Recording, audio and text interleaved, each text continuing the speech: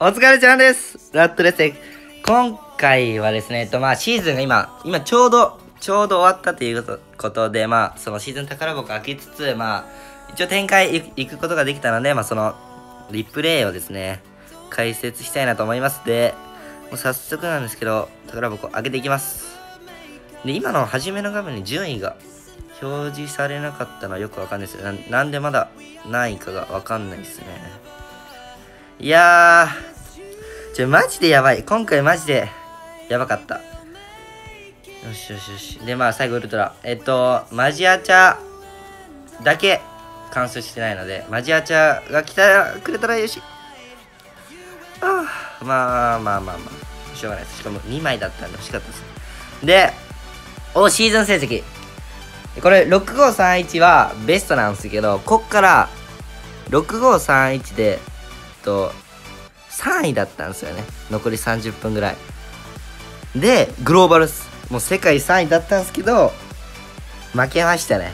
もう、もう3位かな。まあ4位ぐらいだったら負けて、まあちょっと落ちて、フィニッシュでしたね。うん、すごい。今シーズンが変わったやつ。こっからスタートで、え？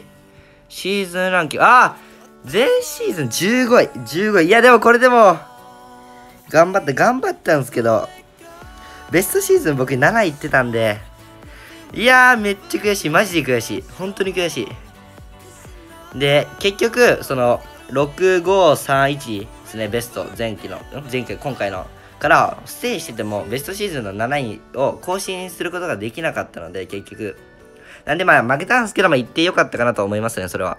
ということで僕はこの、ラバルフリーズでですね、途中からやってて、ラバル・バルキリーのガゴのファイスピアームフリーズで、まあ30しか少ないっていうのが、まあ、大きいですし、まあ30にいてもまあワンチャン勝てるで、それ以外に対してすごい強いデッキでしてですね、この、やっぱ上位陣でこの迫撃がすごい流行ってて、その迫撃に、まあ強いと。まあ強いなんですけど、ここの最後、これです。ここの6531からマイナス30に引かれたんですけど、この試合を、この人マジでうまいんですよ。もう、世界でワンツーぐらいの迫撃使いなんですけど、この人に負けて、いやー、終わりましたね。で、ここもし勝ってたら28プラスで、59、59だったんで、あ、言うて59。明日グローバル3位。言うて3位でまあ、めっちゃ惜しい3位入れてたってことですからね。で、まあ負けちゃって、あれですね、もうジャック君もう、あれですね、日本でもう一番取った人は、4位で安定してますね。いやー、いやー、悔しいっすな。で、ステイしてたら、まあ、9位か。9位、まあまあまあ、9位も15位もそんな変わんないっすね。で、そうっすね、リプレイ解説の方、早速やっていくんですけど、取れてるかな？オッケーオッケーオッケー。いやー、悔しい、悔しい。で、何がいいだろうな。いやー、で、遅延系にね、最後ここもボコられて、ここも負けてで、とりあえず、このジャイガゴガゴさんですね。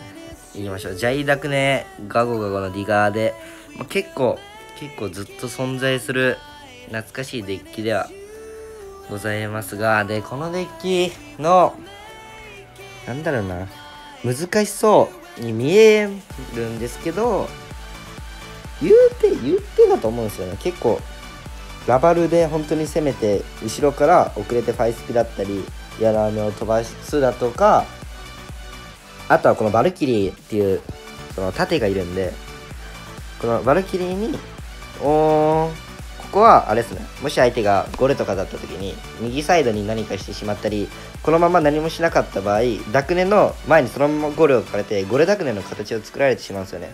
なんで今のそこで逆サイドにバルーンを飛ばしてそしたら絶対相手は防衛しないといけないのでそしたらこのダクネがですね単体で歩いてきて、まあ、楽に処理できる。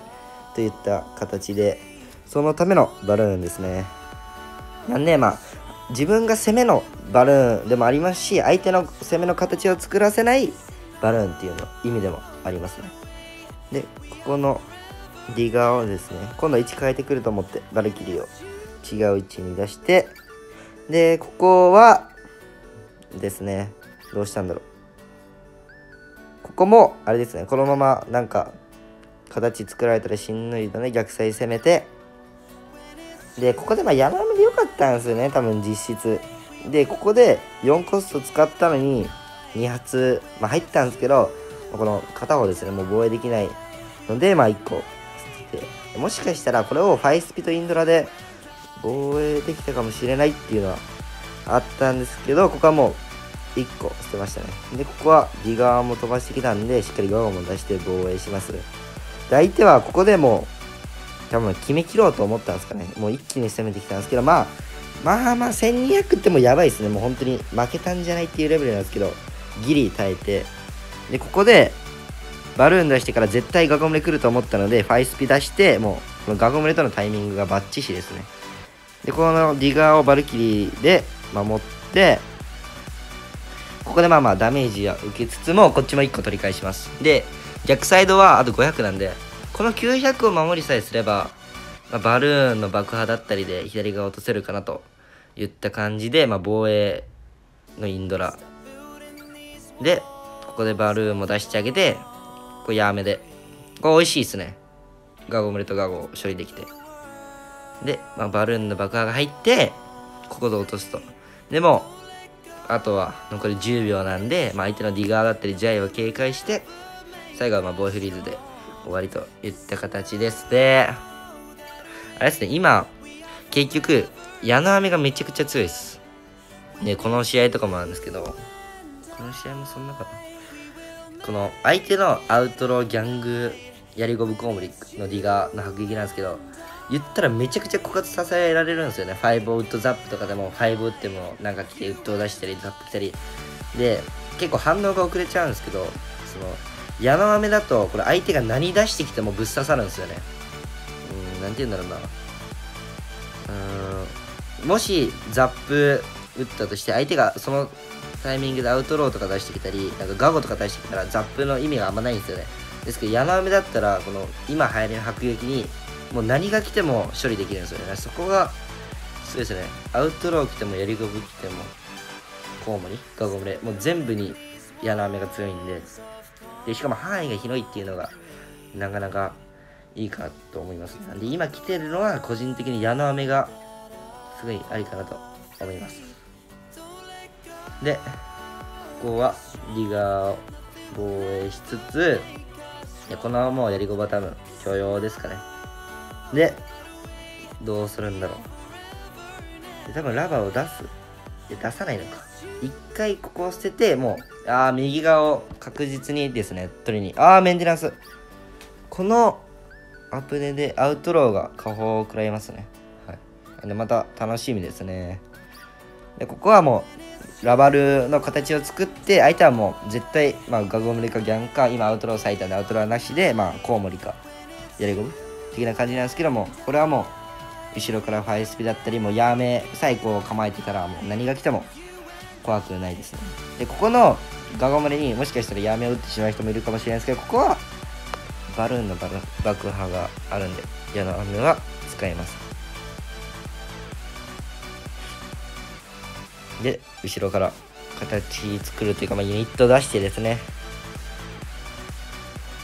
でまあこれ今出してるのでもう逆サイにですねこのまま流れでラバー出してもよかったんですけどちょいとしっかり形を作る作ろうってことで。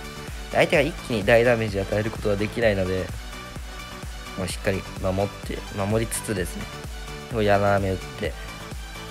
でもうこうバルーンで形作ってで絶対真ん中にアウトローかギャングかなんか来ると思ったのでバルキリー出してキングタワーのターゲットを取りつつ、まあ、リックユニットだったり相手ユニットをターゲット取ってここでもフリーズ。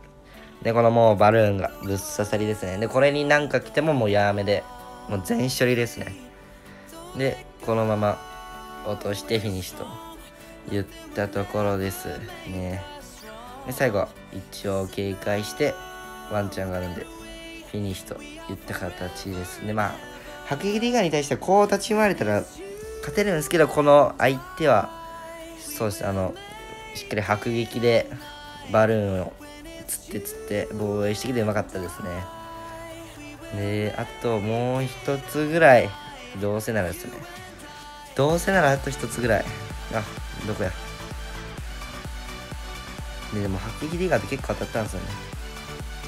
あーでこのラバルかあ遅延ホグしんどい。でホグに遅延クロスでここも勝ったんですけどね最後また負けたんですよねあでもこの辺リプレイが切れてるんでこのラバールでいきますかああ待ってメンテナンスということでもうできないですはいということで今回はですね、まあ、展開到達いたしましたということで、そちらのデッキ、召喚宝箱が開封になりました。ということで、よければチャンネル登録の方もよろしくお願いします。ではでは。バイバイ。